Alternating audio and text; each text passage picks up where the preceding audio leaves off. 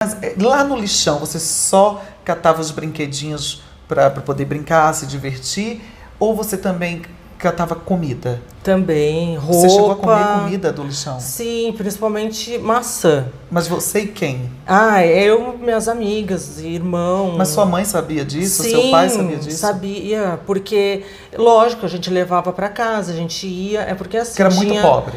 Sim, a gente passou uma situação muito difícil. Meus pais, eles, eu sei e eu agradeço muito porque eu tive os melhores pais do mundo, porque eles me ensinaram caráter, honestidade, dignidade.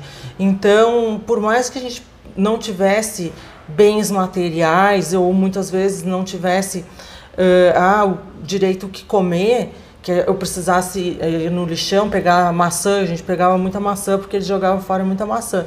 A gente cortava a parte machucada boa. da maçã, boa, aproveitava, uhum. comia, fazia. Uh, salada de fruta. Salada de fruta. A gente inventa. Pessoa, quando a gente dá um jeito, a gente faz virar aquilo, virar até gelé de maçã. E isso com quantos é bom. anos, Sabrina? Ah, e a, desde muito pequena, até os três que daí eu comecei a trabalhar. Daí eu já não ia mais tanto no, no lixão, né?